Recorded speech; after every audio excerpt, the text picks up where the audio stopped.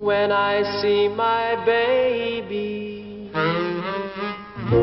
what do I see? Poetry, poetry in motion.